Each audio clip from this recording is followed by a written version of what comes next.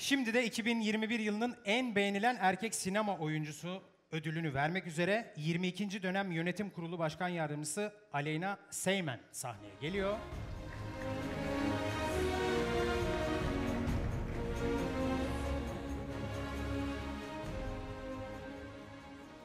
...2021 yılının en beğenilen erkek sinema oyuncusu Ali Can Yücesoy.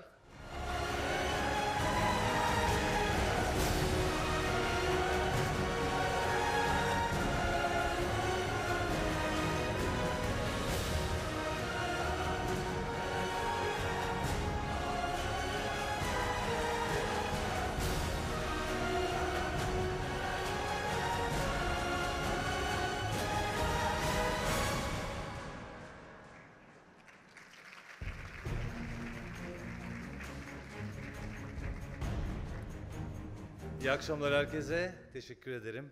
Ee, gençlerden ödül, almak çok güzel gerçekten. Neden öyle diyecek olursanız... ee, galiba şöyle bir şey oluyor. Çağı yakaladığını düşünüyor insan. Öyle zannediyor. İllüzyon tabii ki bu. Size bir şey anlatmak istiyorum çok kısa. Yıllar önce hocalarımızdan biri onur ödülü, yaşam boyu onur ödülü almıştı. Dedik ki hocam aa ne güzel yaşam boyu onur ödülü almışsınız. Dedi ki "Ne- nesi güzel bunun dedi. Yaşam boyu onur ödülü demek sen artık morukladın demenin kibarcasıdır. Ve bu onur ödülüyle başlar.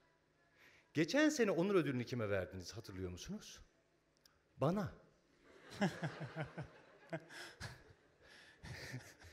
Ümit beni gayet iyi anlayacağını düşünüyorum. Maalesef. Yaşımız ortaya çıkıyor. Çok şey yapmazsan Ee, sevinirim. Ama bana tekrar e, mesleğime dönüp genç biri gibi davranma fırsatı verdiğiniz için de teşekkür ederim.